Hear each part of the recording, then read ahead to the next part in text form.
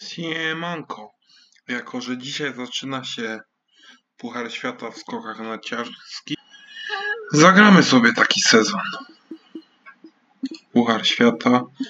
Zawodników musiałem tworzyć, ile to było pracy, żeby ich wszystkich stworzyć, a i tak wszyscy nie są.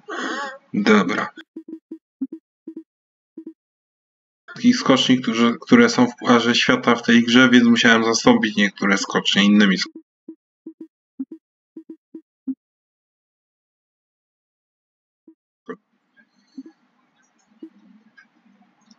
Tak. Ja się nazywam. A jak? Dark Boys Bo. Na początku kwalifikacje. Koncentracja. Leć i wyląduj. Może mi to wystarczy. 30 miejsce. Aj, nie wystarczy. Chociaż jest. Jest. Kwalifikację mam.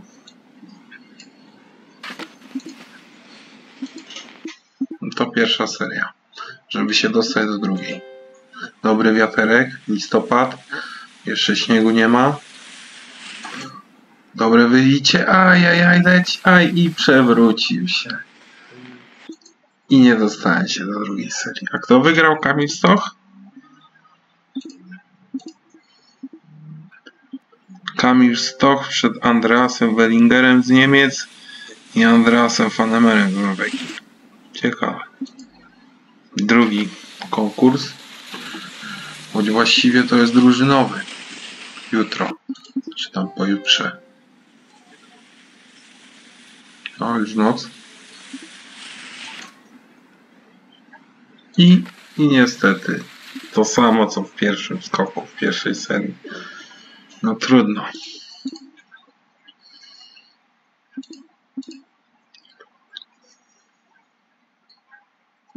Stok wygrał pierwszą serię minimalnie. I drugą też przed Hulą i Fanemelem. Fanemel będzie na drugim miejscu. Tak jest. Także widzimy się za tydzień w następnym konkursie. Wrócę. Łapkujcie, komentujcie, co tam chcecie. Na razie.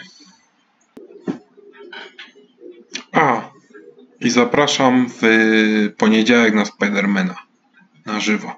Narka.